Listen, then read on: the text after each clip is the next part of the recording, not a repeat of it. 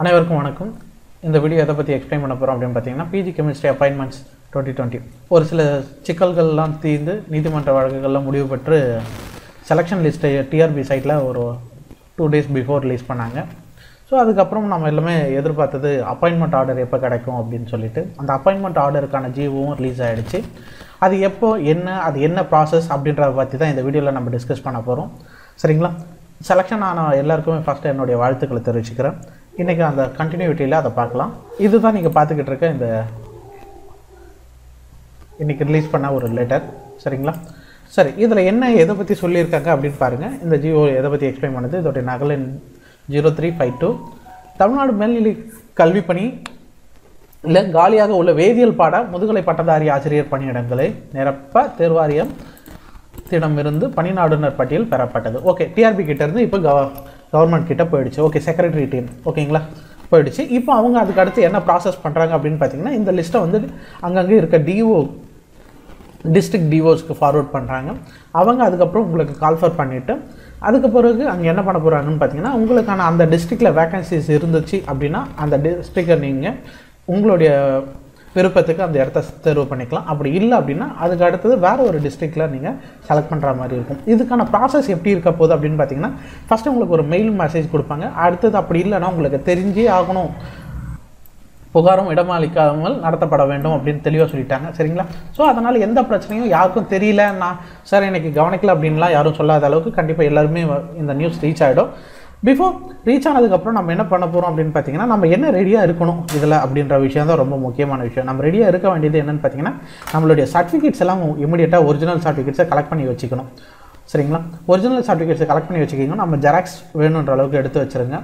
சரிங்களா? ஃபைலில் கொண்டு கொண்டு போக சொல்ல சர்டிஃபிகேட் வெரிஃபிகேஷனில் ஒன் ஆர் டூ மெம்பர்ஸ் ஒரு சில டைமில் தெரியாமல் தவறுதெல்லாம் தொலைக்கிறாங்க. சரிங்களா? அந்த மாதிரி எதுவுமே நடக்காமல் கொஞ்சம் சேஃபாக பார்த்துக்கோங்க.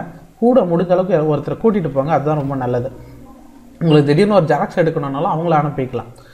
சரிங்களா? இது என்னைக்கு அப்படின்னு பார்த்தீங்கன்னா முப்பது பன்னெண்டு ரெண்டாயிரத்தி இருபதில் தான் இந்த கலந்தாய்வு வந்து நடக்க போகுது. சரிங்களா? முப்பது பன்னெண்டு ரெண்டாயிரத்தி இருபது. ஆல்ரெடி நம்ம பேசின அந்த வீடியோவில் சொல்லியிருப்போம்.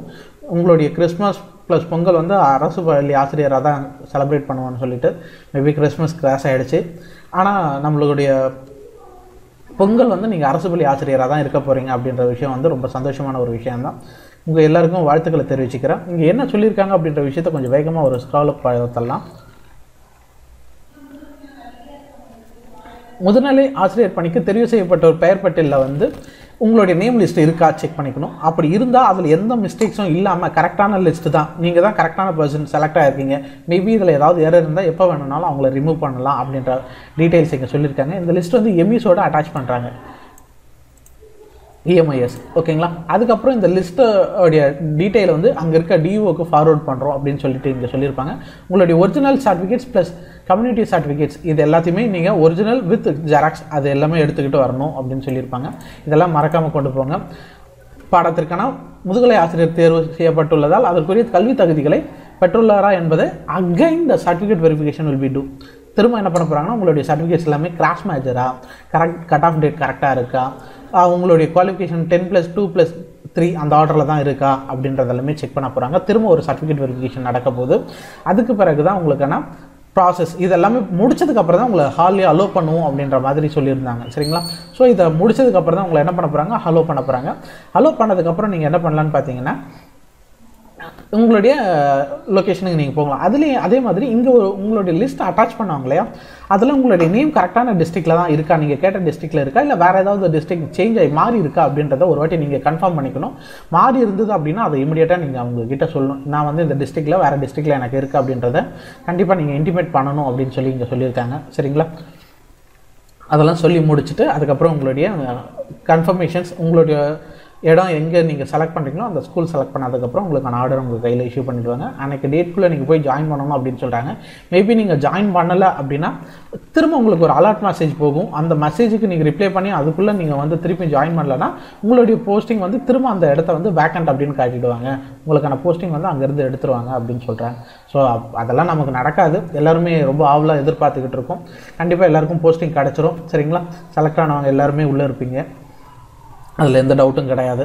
இன்னொருக்க பத்து பேரும் விரைவில் அதுக்கான பணி நியமன ஆணையம் விரைவாக கிடச்சிரும் அப்படின்னு எதிர்பார்க்குறோம். இந்த வீடியோ முழுசாக பார்த்தவனுக்கு நன்றி.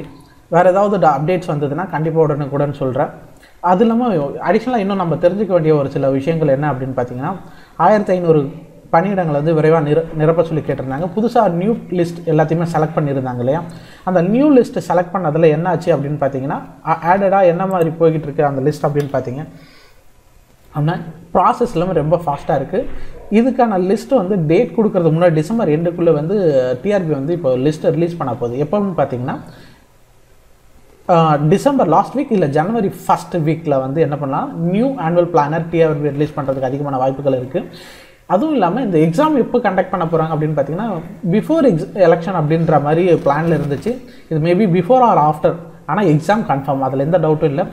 படிக்கணும் அப்படின்ற ஸ்டார்ட் பண்ணி டிஆர்பிக்கு ஃபோக்கஸ் பண்ணுறவங்க இமீடியட்டாக இப்போவே ஸ்டார்ட் பண்ணி உங்களுடைய ஸ்டடீஸை கண்டினியூ பண்ணுங்கள் நன்றி வணக்கம்.